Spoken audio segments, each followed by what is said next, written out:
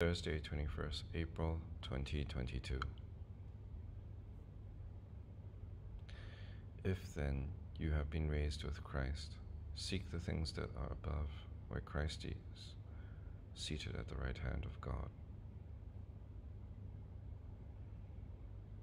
Let us humbly confess our sins to Almighty God.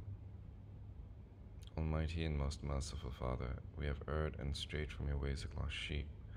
We have followed too much the devices and desires of our own hearts. We have offended against your holy laws. We have left undone those things which we ought to have done, and we have done those things which we ought not to have done. And apart from your grace, there is no health in us. O Lord, have mercy upon us. Spare all those who confess their faults. Restore all those who are penitent, according to your promises declared to all people in Christ Jesus our Lord. And grant, O most merciful Father, for his sake, that we may now live a godly, righteous, and sober life, to the glory of your holy name. Amen. Grant to your faithful people, merciful Lord, pardon and peace, that we may be cleansed from all our sins and serve you with a quiet mind through Jesus Christ our Lord. Amen.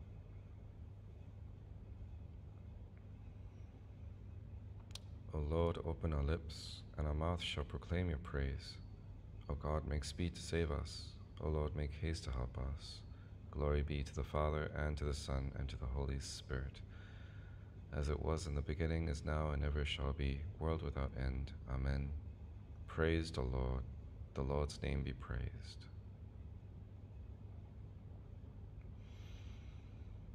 Alleluia. Christ our Passover has been sacrificed for us. Therefore, let us keep the feast, not with the old leaven, but the leaven of the leaven of malice and evil, but with the unleavened bread of sincerity and truth. Alleluia. Christ, being raised from the dead, will never die again.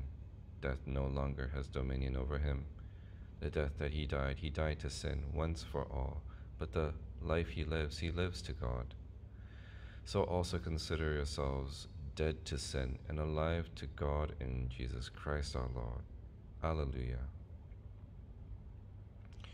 Christ has been raised from the dead, the first fruits of those who have fallen asleep.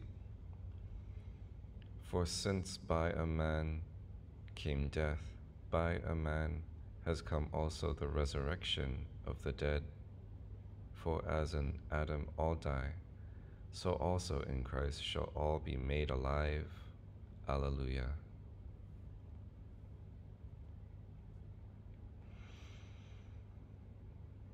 Give thanks unto the Lord and call upon his name. Let the peoples tell the peoples what things he has done. Oh, let your songs be of him and praise him, and let your speech be of all his wondrous works. Rejoice in his holy name. Let the hearts of those who seek the Lord rejoice. Seek the Lord and his strength. Seek his face evermore. Remember the marvelous works that he has done, his wonders, the judgments of his mouth, O seed of Abraham, his servant, O children of Jacob, his chosen. He is the Lord our God. His judgments are in all the world. He has always been mindful of his covenant and the promise that he has that he made to a thousand generations, even the covenant that he made with Abraham and the oath that he swore to Isaac, which he appointed to Jacob for a law and to Israel for an everlasting testament, saying, to you will I give the land of Canaan to be the portion of your inheritance. When there were yet but a few of them, and they were strangers in the land, and they wandered from nation to nation, and from one kingdom to another, he allowed no one to do them wrong, but reproved even kings for their sakes. Do not touch my anointed, and do not and do my prophets no harm. Moreover, he called for a famine in the land and destroyed all the provision of bread. But he had sent a man before them, Joseph, who was sold to be a bond servant, whose feet they hurt in the stocks. They put an iron collar around his neck until the time came that his sayings were fulfilled. The word of the Lord tried him. The king sent and delivered him. The ruler of the people let him go free. He made him lord over his house and ruler of all his possessions, that he might instruct his princes according to his will and teach his elders wisdom. Israel also came into Egypt, and Jacob was a stranger in the land of Ham. And he increased his people exceedingly, and made them stronger than their enemies, whose heart he turned, so that they hated his people and dealt deceitfully with his servants. Then he sent Moses, servant, and Aaron, whom he had chosen, and they worked his signs among them and wonders in the land of Ham. He sent darkness, and it was dark, but they were not obedient to his word. He turned their waters into blood and caused their fish to die. Their land brought forth frogs, even in the king's chambers. He spoke the word, and there came all manner of flies and gnats in all their borders. He gave them hailstones for rain and flames of fire in their land. He smote their vines also and their fig trees, and destroyed the trees that were in their borders. He spoke the word, and the grasshoppers came and locusts innumerable. They ate up all the grass in their land and devoured the fruit of their ground. He smote all the firstborn in their land, even the firstfruits of all their strength. He brought forth Israel with silver and gold. In all their tribes there was not one who stumbled. Egypt was glad at their departing, for they were afraid of them. He spread out a cloud to be a covering, and fire to give light in the night season. At their desire, he brought forth quail, and he fulfilled, and he filled them with the bread of heaven. He opened the rock, and the waters flowed out, so that waters ran in the dry places. For he remembered his holy promise and Abraham his servant and he brought forth his people with joy, and his chosen ones with gladness, and gave them the lands of the nations. And they took the labors of the peoples in possession, that they might keep his statutes and observe his laws. Praise the Lord. Glory be to the Father, and to the Son, and to the Holy Spirit, as it was in the beginning, is now, and ever shall be, world without end. Amen.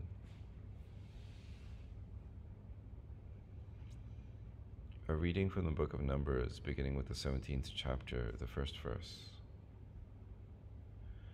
The Lord spoke to Moses, saying, Speak to the people of Israel and get from them staffs, one for each father's house, from all their chiefs, according to their father's houses, twelve staffs. Write each man's name on his staff, and write Aaron's name on the staff of Levi for there shall be one staff for the head of each father's house. Then you shall deposit them in the tent of meeting before the testimony where I meet with you. And the staff of the man whom I choose shall sprout. Thus I will make to cease from me. Thus I will make to cease from me the grumblings of the peoples of Israel which they grumble against you.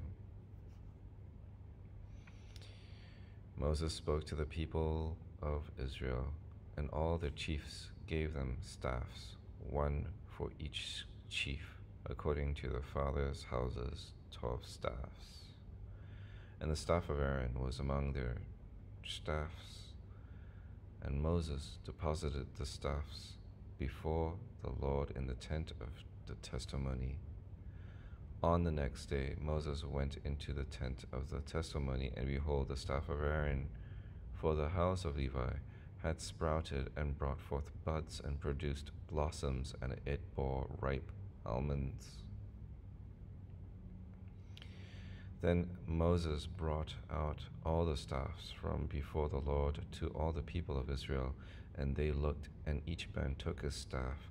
And the Lord said to Moses, Put back the staff of Aaron before the testimony to be kept as a sign for the rebels, that you may make an end of their grumblings against me, lest they die. Thus did Moses, as the Lord commanded him, so he did. And the people of Israel said to Moses, Behold, we perish, we are undone, we are all undone. Everyone who comes near, who comes near to the tabernacle of the Lord, shall die. Are we all to perish? This is the word of the Lord. Thanks be to God.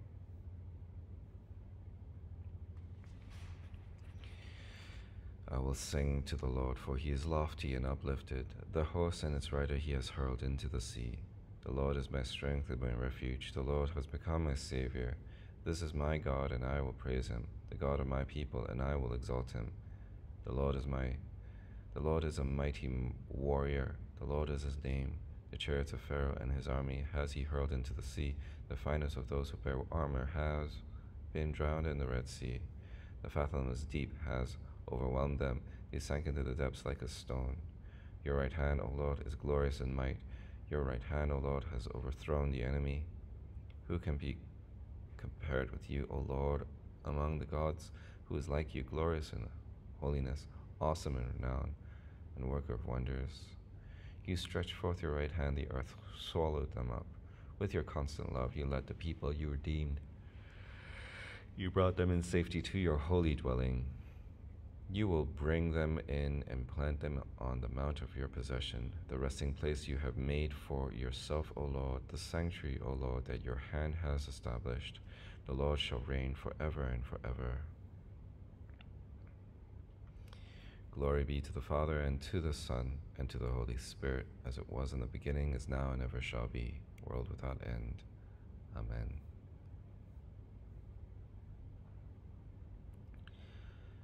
A reading from the Gospel of our Lord Jesus Christ according to St. Mark, beginning with the 13th chapter, the 14th verse.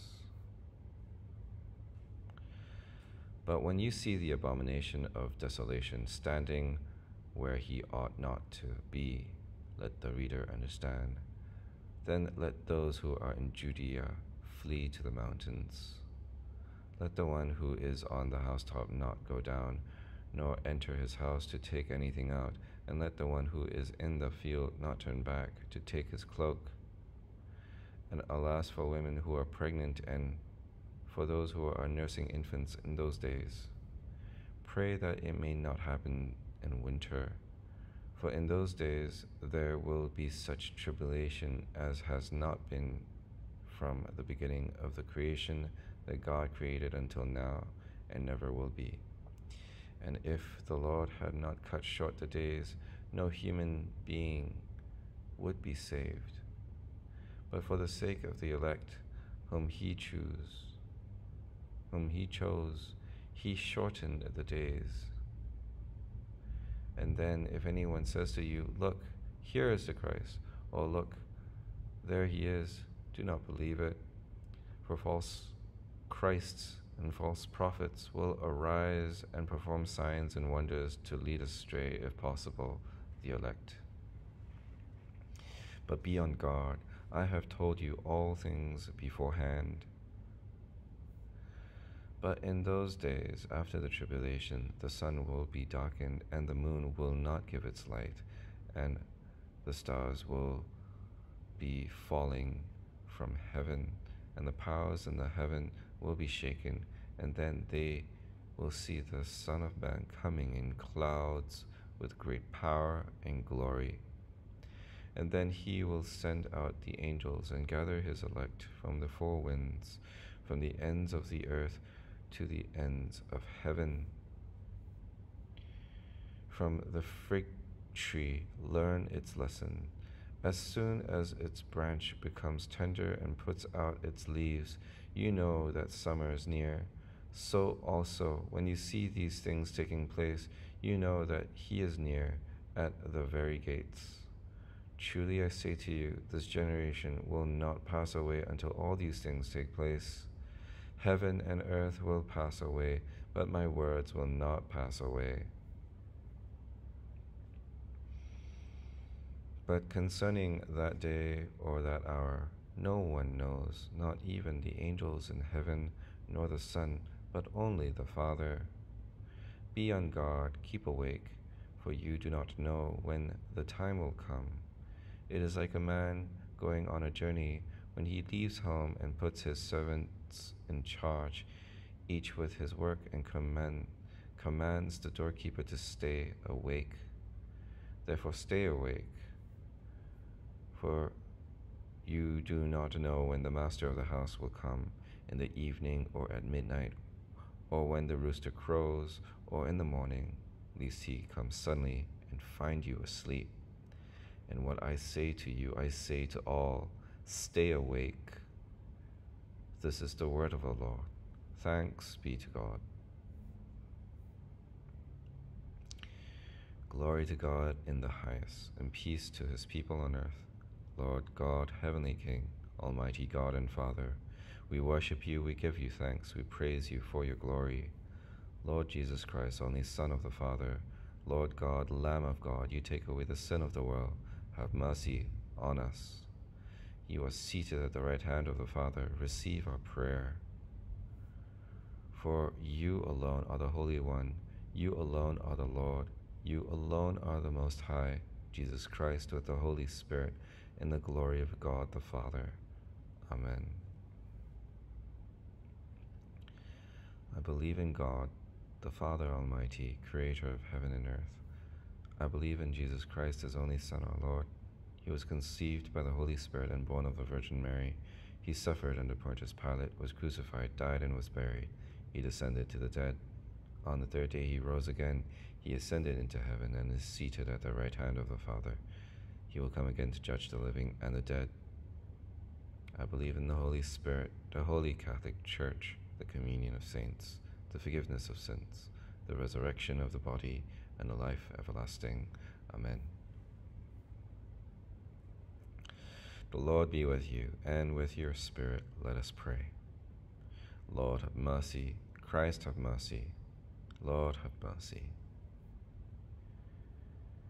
Our Father in heaven, hallowed be your name. Your kingdom come, your will be done on earth as it is in heaven. Give us today our daily bread, and forgive us our sins, as we forgive those who sin against us Save us from the time of trial and deliver us from evil. For the kingdom, the power, and the glory are yours, now and forever. Amen. O Lord, show your mercy upon us and grant us your salvation. O Lord, guide those who govern us and lead us in the way of justice and truth. Clothe your ministers with righteousness and let your people sing with joy. O Lord, save your people and bless your inheritance. Give peace in our time, O Lord, and defend us by your mighty power. Let not the needy, O Lord, be forgotten, nor the hope of the poor be taken away. Create in us clean hearts, O God, and take not your Holy Spirit from us.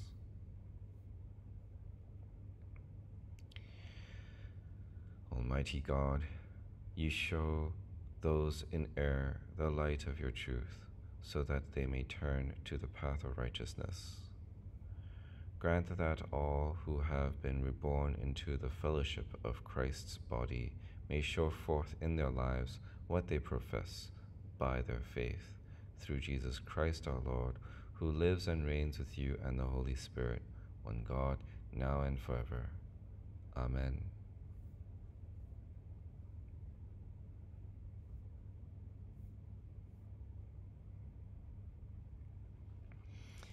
Heavenly Father,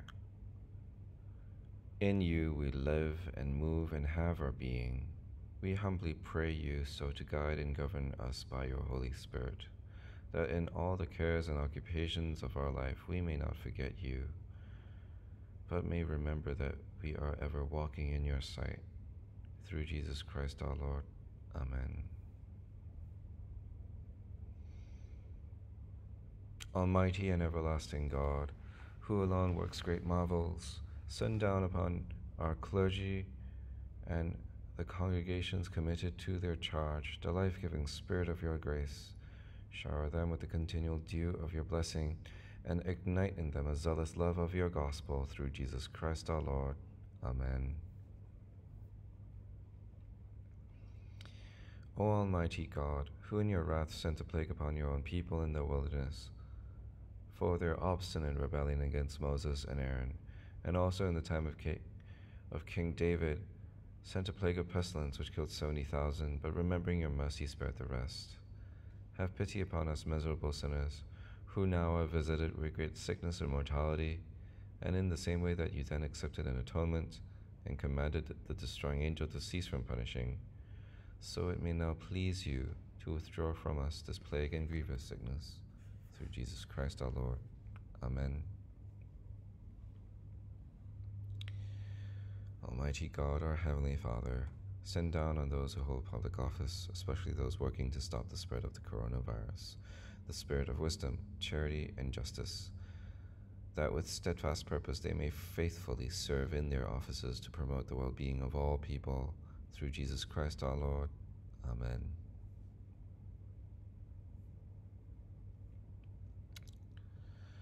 Almighty God, Father of all mercies, we, your unworthy servants, give you humble thanks for all your goodness and loving kindness to us and to all whom you have made. We bless you for our creation, preservation, and all the blessings of this life, but above all for your immeasurable love and the redemption of the world by our Lord Jesus Christ, for the means of grace and for the hope of glory. And we pray, you give us such an awareness of your mercies that with truly thankful hearts we may show forth your praise, not only with our lips but in our lives, by giving up ourselves to your service and by walking before you in holiness and righteousness all our days. Through Jesus Christ our Lord, to whom with you and the Holy Spirit be honor and glory throughout all ages. Amen. Almighty God, you have given us grace at this time with one accord to make our common supplications to you, and you have promised, through your well beloved Son, that when two or three are gathered together in his name, you will grant their requests. Fulfill now, O Lord, our desires and petitions as may be best for us granting us in this world knowledge of your truth, and in the age to come, life everlasting. Amen. Let us bless the Lord. Alleluia, Alleluia. Thanks be to God. Alleluia, Alleluia. May the God of hope fill us with all joy and peace in believing through the power of the Holy Spirit. Amen.